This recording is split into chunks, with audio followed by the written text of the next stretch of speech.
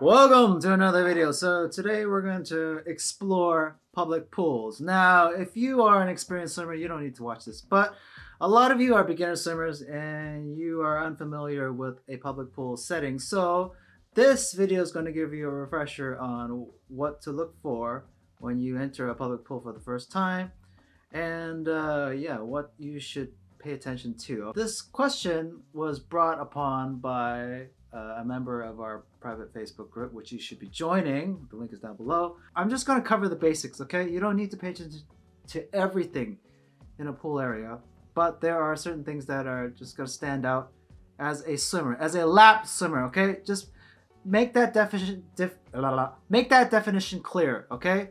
This is a video intended for lap swimmers, okay? Not leisure swimmers, okay? So if you're going to play around and splash water with your friends at the pool, this video is not for you, okay? Now, if you are entering the public pool for the first time, this is what a public pool is going to look like, okay? It's going to look like hell. It's going to look like visiting Disneyland for the first time, okay? There's just so many things going on all at once, okay? There's, it's just, your it's a sensory overload. So, take a look at the screen. You can see, like, this is what a typical public pool looks like, okay? Well, not this type, type of pool. This is an outdoor pool. Uh, by the way, if you are a swimmer, serious swimmer, you're going to be swimming indoors most of the year round. Okay, so outdoor pools like this, facility-wise, is just just an example, but these are seasonal. Okay, so you're only going to see these types of pools in the summertime. Okay, and you're not really going to be swimming just for summer. You're going to swim all year round if you're serious. But I just wanted to show you this picture because this is what you know 99 out of 100 pools I swim at look like you know all year round okay? So what do I see? Lots of people. All types of people. Different types of people like families kids lifeguards uh, just just people that are different levels of swimming from like complete newbie. They don't know how to swim at all to the expert swimmer. Now if you are a lap swimmer Avoid these areas at all costs. Okay, you have been warned. These types of pools, these types of crowds will give you nothing but stress. Alright? So, if you are swimming in this type of environment, get out of there. Get out of there ASAP, okay? You should not be swimming in this type of... Now, when I see a lot of kids in a pool, that is a red flag, okay? Lots of kids means a lot of urine, a lot of spit, a lot of chaos. Okay, it's a lot of stress. I'm just telling you the reality as a lifeguard myself. I, I've worked as a lifeguard for many years.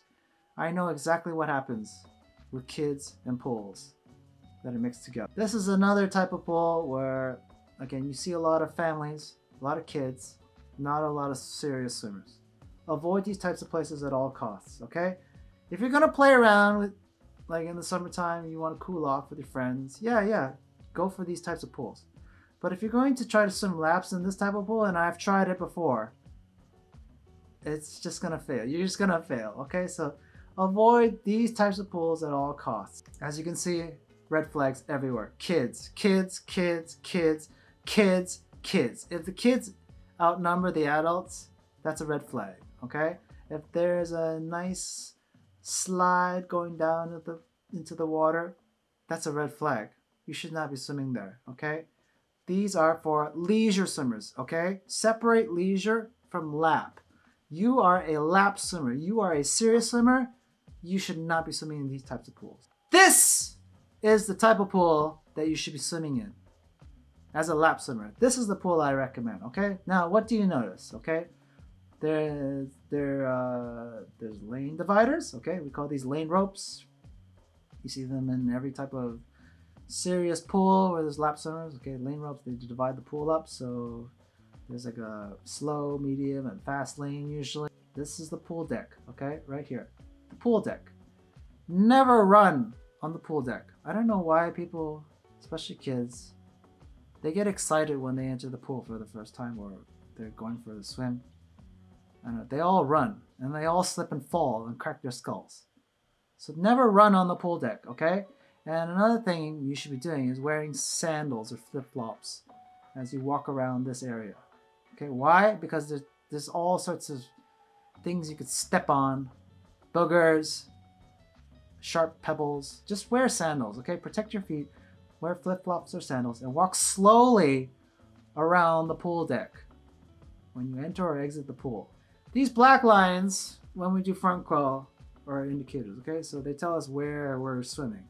Okay, when you're swimming front crawl, you're always looking down. You're not looking forward. No, you're looking down most of the time. When you look down, you pay attention to the black line. It's just like driving on the highway. You follow the lane, okay, according to where the lines are. Okay, so you always want to be smack in the middle of the black line as you follow okay? And you notice that there's a T. The T indicates that your your lane, you're you're slowly approaching the end of your lane. So you should set up a flip turn or get ready for the turn, your turn. It's usually a flip turn, okay? So when you see the T, it means get ready for your flip turn. The ledge here, here, okay? You should always grab onto the ledge. And oh, look, there's the pool ladder. Okay, you should slowly enter and exit the pool using the pool ladders. Or you can just sit down on the ledge and slowly insert your body into the water. Never jump into the pool. Never dive into the pool. Okay? Why? Because you you most end up doing something by accident like like hitting another patron that you don't see. Okay? And if you're swimming laps in a pool, it's kind of dangerous when you see some people jumping into the water from above you. Okay? Or diving into you. Okay, I've had it happen many times. Stupid people. So never dive, never jump into the water. Respect the people that are swimming around you by slowly slipping into the water. Okay, using the pool ladders or just yeah, sliding in. You're probably wondering, what are these triangle flags? Okay, these are for backstrokers. Okay, so if you're in backstroke, you can't see the T or the, the black line. So what do you do? You look at a ceiling, but the ceiling is never straight. Okay, there's no indicators on the ceiling at any pool. Okay, there's no black lines inserted. Okay, so there's nothing to follow when you're doing backstroke. You're swimming blind. So the best thing that you can use to see visually as a backstroker when you're swimming on your back is seeing these flags. When you see these flags, it's just like the T. It tells you, okay, you're approaching the end of your lane. Get ready for your flip turn or slow down or whatever, okay? Just get ready because the worst thing you want to do is hit your head against the wall or smash your arm on the pool ledge, okay? I've had it happen. I've seen people do it. Always be aware of your surroundings, okay? I don't know why there, there's no sign for slow and fast, but obviously there's like a slow and then the medium and then the fast lane, okay? And uh, the way I use these lanes is not by the speed of uh, the, the sign or the sign that says the speed, but the speed of the people, the people I'm swimming with. Okay. So if I see an empty lane here, I'm gonna take it and I'm gonna swim whatever I want. But when the pool fills up with lap swimmers, then you gotta respect the speed limits. Okay. So if there's a lot of slow swimmers here, then I'm gonna move over to the medium. If there's a lot of medium swimmers here, then I'm gonna move over to the fast lane. Okay. So just use common sense know who you're swimming with, okay? If you're swimming with someone who's just swimming too fast for you, then move over to, to the medium lane. If you're swimming in a lane where there's just too many slow people in front of you, don't be a dickhead and try to like cut the, everyone off. Okay? This is not the highway. All right? So save some stress and just move to the appropriate lane. And you're probably wondering what these are. Okay? These are starting blocks. Okay? Never use these. Never use these. I don't know why people use these in public lap swimming times, but never use these. Why? Because again, you're sharing this lane with other swimmers. When you're competing, you can use these starting blocks. Why? Because you get the lane all to yourself. When you're swimming in competitive swim clubs, yes, you can use these starting blocks if your coach allows you to use them. Okay? But if you're alone and you swim in and you use these starting blocks in public swimming times, you're asking for trouble because there's other people swimming in the lane with you and you're just jumping, you're spearing into them. You're diving into other people. Do you think that's safe? It's not. So don't use these starting blocks when you're lap swimming. You should use the ladder or slowly slip into the water safely. There's a timer. The timer is your friend. If you want to count how, how long it takes for you to swim one lap or 20 laps, okay, you go off this timer. Okay, you don't need to bring a watch to the pool. You don't need to bring a smartwatch. Just use the timer, okay? I don't know why people just they're addicted to their smartphones and they use all these apps and shit. Just use the timer here. These diving bars are only accessible when it's public swimming time and uh, these lane ropes are taken out. Okay, so you can remove these uh, lane ropes when there's like a public swim time, like it's usually like family swim time. So there's no lap swimming. You shouldn't be swimming laps at family swim times, okay? and that's when the lane ropes are gone and then kids can jump off the diving board okay? So that's when you should be out of the pool. Nice facility here. This is a lot more advanced because you can see here there's olympic diving now okay? When there's olympic diving it's a lot more serious. It's more serious the pool. Why? Because this area here is really deep. It's like twice as deep as a regular public pool, okay? Just to make up for people diving into the water. Then the lane ropes, okay? Fun fact, never grab onto the lane ropes if you're tired. Never. I don't care what it is. Never grab onto the lane ropes, okay? The only time you should be grabbing onto the lane ropes is in case of emergency. So, for example, you sprain your ankle, you pull a muscle, you cramp up, you have a heart attack, having a seizure, those types of emergencies are the only times you should be grabbing onto the lane rope. And when you grab onto the lane rope, expect a lifeguard to jump in and pull you out of the water. That's how serious it is. Okay? So never grab on, never rest and just linger on the lane ropes. Okay? You're just asking for trouble. It's like dialing 911 for a fake emergency and expecting an ambulance to pull up to your house and then you say, "Oh no, it's just I'm just resting." Never grab onto the lane ropes, okay? Grab onto the wall on the ledge. If you're a beginner swimmer and you tire easily, you swim on the outer edges of the pool, okay? So it's over here or over here, this lane here. See this lane here? You should swim in this lane. Why? Because you can grab onto this wall, this ledge at any time. If you get tired, if you're just scared, or if you don't want to swim all the way to the end of this lane, okay? You can do that. You can swim half of this lane, grab onto the wall, jump out, do it again. Okay? There's nobody telling you you have to swim the full length. Look at the the way it's sloped. Okay, so every pool starts off shallow and then there's a drop off. This one is a gradual drop off. And you notice that the, the lane ropes are going perpendicular. Okay, some pools are designed like this. I don't know why, but that's the way they are. So if you were swimming in this pool for the first time, it was filled with water, you would be swimming in this lane okay, because it's most shallow. Here's my take on outdoor pools. I don't like swimming in them. Why? Because the weather fluctuates. It could be raining, it could be windy, there could be leaves, there could be bugs in the pool, and there's just it. It invites families most of the time, so it's a recipe for disasters. Picture this is what a typical day in my life looks like.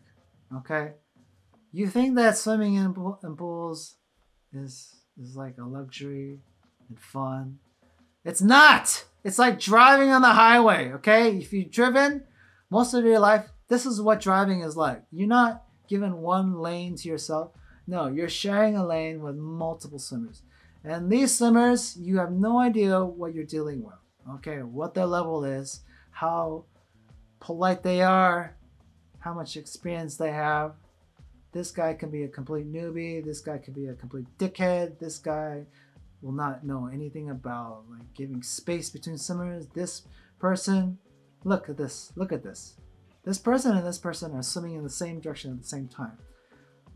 This is a recipe for disaster. This is what swimming looks like in my my eyes. Okay, it's stressful. You're dealing with all types of dickhead. And look at this. This is swimming class held right now. Okay, so this this lane is you can't use this lane whatsoever. Okay, they booked this lane, the pool. Some lessons. These people should get out of the water. Okay, if you're resting more than 10 seconds, you shouldn't be in this lane. That's my motto. I need this space to do a flip turn. I can't do it safely or properly when there's just too many people crowding this area. So, be polite get out of the water and just relax in the hot tub. Chill in the hot tub, chill in the sauna, chill in the steam area, do whatever else besides hanging around this important area. These things, th- this is a good indicator it's a serious pool. What are these? These are bulkheads. Okay, bulkheads. These are uh, adjustable, so you can move them around. Okay, you slowly pull them or push them, and you make make way. Okay, so these things uh, segregate the pool. Okay, and this is an Olympic-sized pool, which is a good good sign. Another good sign. So, an Olympic pool is usually 50 meters in length. Okay, when you swim it, but most people can't swim 50 meters. So they divide up the pool like this, uh, make it like 25 meters like this. Okay, and uh, yeah, usually it starts off like shallow, a little bit more deep, and then deep right here. This is where the diving planks are. Okay, this is like scuba divers, and uh, yeah, all that stuff. Okay. So yeah, that's my take on uh, parts of the public pool. You don't need to know everything of a public pool. You just have to have common sense and know what you're dealing with. Okay. Nine times out of ten, you're dealing with a lot of stress. So look out for these red flags, you know, like I covered in this video. And uh, yeah, it's it's like driving on the highway. You know, driving in rush hour most of the time. You just the best way to deal with rush hour is just to yeah not get too stressed over it. If you want to learn how to swim, if you need some more guide and more help, download my free ebook. Okay, the link is down below. It's totally free. Okay, I wrote this book get the book, get ready for summer 2022. And yeah, that's all I have to say. Okay, so thanks for watching. My name is Justin, and bye!